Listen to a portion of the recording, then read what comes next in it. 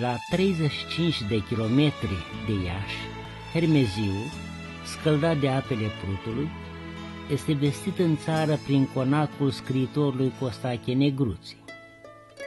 Iubitorii de literatură vin aici să cunoască mai multe despre locul în care au ieșit la lumină celebrele nuvele istorice. Pentru a veni în sprijinul celor care vor să nopteze, soții Anișoara și Mihai Burlacu au deschis o pensiune ce oferă condiții excelente de cazare și masă. Sunt întâmpinat de doamna Anișoara, o femeie înaltă, frumoasă, bine îngrijită, cu un păr dat după ureche, cu niște ochi iscoditori și mă întreabă despre scopul vizitei. Apoi cheamă soțul, un bărbat bine legat la trup, fața rotundă, ochi albaștri și jucăuș, în care se citește nu numai frumusețea, ci, ci și blândețea sufletului, care mi explică sarcinile lui și ale soției întregul de gospodărește. Deși suntem în prag de iarnă, curtea este bine îngrijită. Trandafirii sunt protejați de îngheț, iar florile duse la căldură.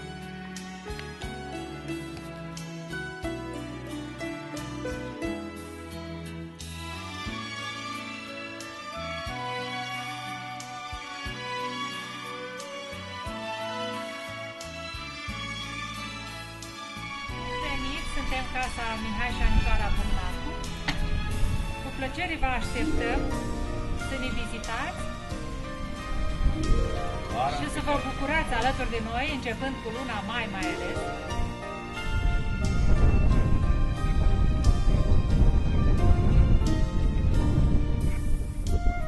Aici este terasa noastră unde vara pe timp ploios servim cafeaua sau, mă rog, stăm la discuții unde vă așteptăm cu drag. Vara noastră.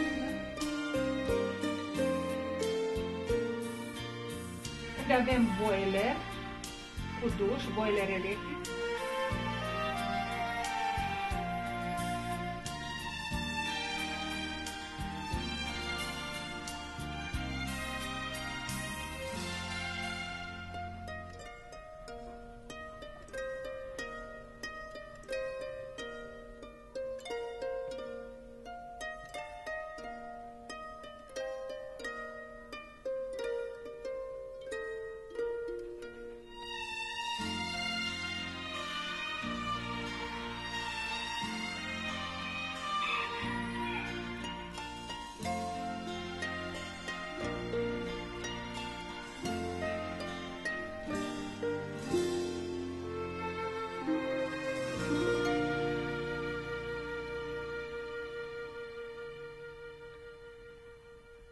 După o zi de drumeție prin Hermeziu sau plajă la râul Prut, unde doamnele se pot relaxa făcând baie chiar în râul Prut, domnii pot pescui, vă așteptăm seara cu drag să vă odihniți în, în casa noastră, aici, chiar în acest loc. Turiștii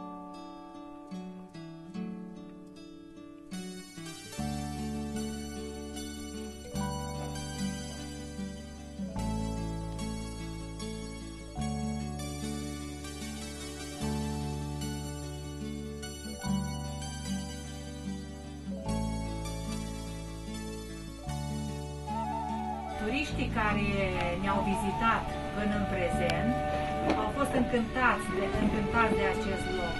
Le-a plăcut foarte mult, de aici se poate admira dealul Basarabei, unde în luna mai salcânii sunt înfloriți și a, ajunge chiar până aici un parfum grozav.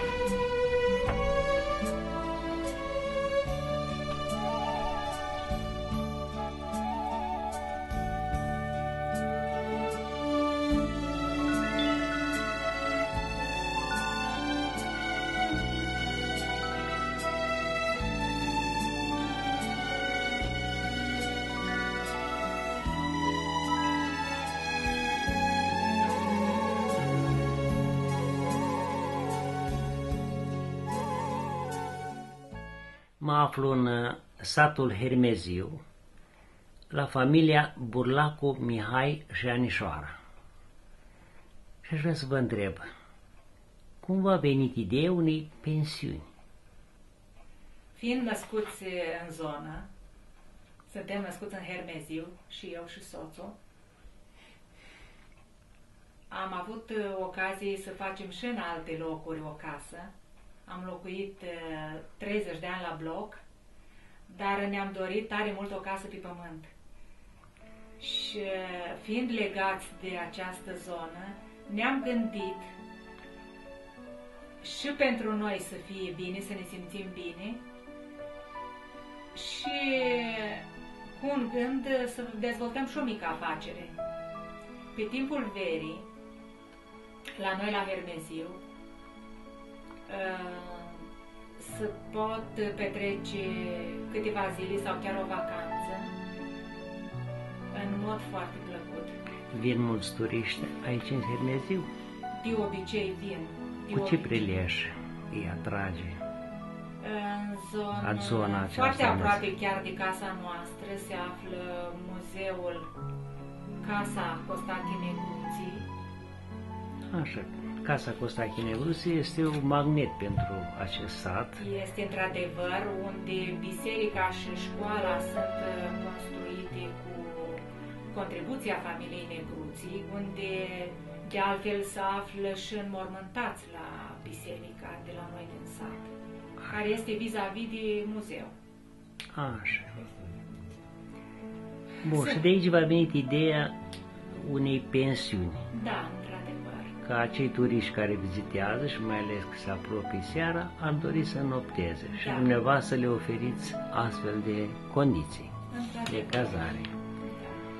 Uh, Cam câte locuri dispuneți pentru cazarea turiștilor? Noi avem trei camere la dispoziție.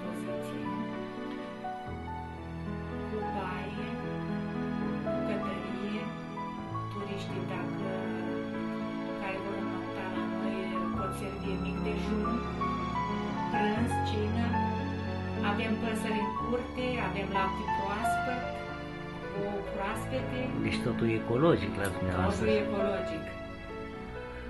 Bun. Avem cuptor de pâine, noi mâncăm pâine proaspătă. A, și învățați și dumneavoastră cum este o, un prânz așa gătit ecologic la țară, cu Noi, un cuptor, e, cu noi e, plăcinte, nu? La noi să fac plăci, eu, eu cel puțin fac plăcinte cu alimbrâu, la cuptor, foc la cuptor, pe vatră. Da, sunt mulți orășeni care nu știu Nu acest știu, dar- lucru, ei luând pâine de la brutărie. Da, într-adevăr, la noi chiar în prezența dumnealor putem, putem să facem așa ceva, Putem face un borș de găină cu tăiței de casă, găină proaspătă de la noi, După o rețetă proprie. după înțeleg. rețetă proprie, cu borșul umplut de noi personal, Așa, deci nu cu un secret chimical. numai de noi știut, cu creangă de vișăn și are un gust grozav. Deci secretul până la urmă l-ați spus. Dar mai am ceva, încă un ingredient Ah, care îl pe pun care în, îl țineți. când umplu borșul. Așa, deci Care, tot, care e secret? totul este natural, nu cu Totul chimical. natural. Nimic nu cumpărăm. Nimic. Totul produs în La gospodăria noi în dumneavoastră. gospodărie, Bă, Ce ar vrea să vă mai întreb? Ce obiective sunt în satul Hemeziu atunci când vizitează turiștii satul dumneavoastră? Adică ce, Avem- ce obiective îi atrag? Da. În afară de muzeul, de Casa Memorială Costachine Cruții, uh, râul Prut sau satul Hermeziu este străbătut de un dig care ne pro- uh, este satul protejat de un dig de apa Prutului. Așa. Ei, acest dig vara este un prilej de a merge cu bicicleta, de a face mișcare în aer liber. Noi avem biciclete. O promenadă Da. a turiștilor, Di- admirând Digul Prutul. este plin de verdeață, de fâneață, cu flori Este un loc unde eu cu soțul și căței în fiecare seară mergem 3-4 Așa, plimbare. Plimbarea Dar seara. uh, se pot uh, scalda turiștii în prut. Evident, Plajă este. Evident, este plajă amenajată de primărie, de domnul primar, o, o amenajat plajă aici în zonă. Deci domnul primar s-a interesat Evident. de Evident. uh, o cazare a turiștilor în satul dumneavoastră. Da, și chiar o promovat, chiar o, chiar o promovat. Da. uh, Comuna Trifești, satul Hermeziu, Casa Negruții. Și Da. chiar ne sprijină, chiar ne sprijină și ne-au dat idei să, ne, să, să facem uh, Da, de- turism de... unde noi am investit bani aici în casa asta, până am construit-o și până, ajung, până am ajuns în, uh, în acest în an. acest uh, stadiu. Și ne-a dat chiar uh, domnul primar ne-a dat ideea să Da, de curând domnul primar s-a întors de la un târg internațional de turism de la București. de la București, unde au parșat peste 130 și ceva de firme, nu numai din țară, majoritatea din străinătate, că își Da. promoveze țara, locurile și Am fost informată. mulți uh,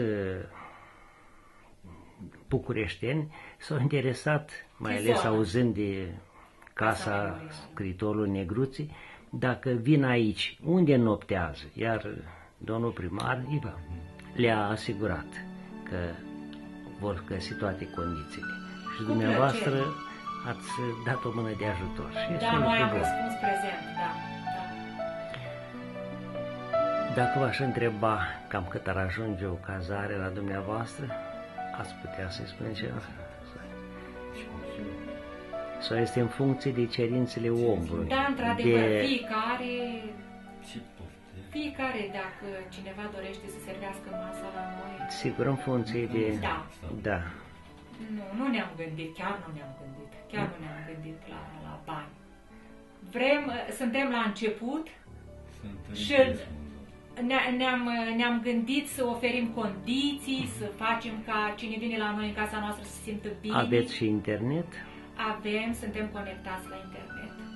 Da. Deci, iar un lucru care e indispensabil unui om modern, mai ales Este copiii într-adevăr. acum. Avem apă curentă în bucătărie, în baie, avem uh, duș, boiler electric, se poate face un duș la orice oră din zi și din noapte. Aici e o zonă liniștită, fără Este zgomot. într-adevăr. Da. În luna mai, în luna mai, în luna mai, mai e, E mai bun. Exact, în, în ziua de 21 mai de, de sărbătoarea Sfinților Împărați Constantin și Elena este hramul bisericii, Să nu- Se adună. unde se adună foarte multă lume, unde avem un preot cu o inimă mare, preotul Zgăvârdici Alexandru, care este tare bucuros să primească oaspeți. Și dacă ne adunăm cât mai mulți, dânsul este, este bucuros. Ce ar vrea să vă spun? Soțul vă ajută la uh, Amândoi. treburile gospodărești? Amândoi, amândoi, amândoi. Vreți să specificați ce Am- anume? Avem doi copii, sunt plecați în Olanda și aici e, gospodăria, eu cu soțul administrăm totul împreună. Totul, în grădină, e, la bucătărie, la păsări, Peste tot. peste tot. Eu ce vreau să vă spun decât să vă felicit pentru această pensiune. De fapt, este prima pensiune în Comuna Trifești și nu Mulțumim! am ceva să vă spun decât cât mai Noi mulți în turiști. începutul Doamne lui- ajută! Doamne, Doamne ajută! ajută. Așteptăm cu drag să promovăm zona. Și sper că mă veți invita și la vară când florile pe care le-ați adunat aici în sufragerie vor fi în fața casei așa cum arată și locul. Într-adevăr, așa am cu dorit. plăcere vă Cu aștept. plăcere vă așteptăm. Și ușa casei noastre va fi deschisă Oricând. pentru toți oamenii buni. Vă mulțumesc pentru acest interviu. Vă mulțumim și noi. Mulțumim și noi.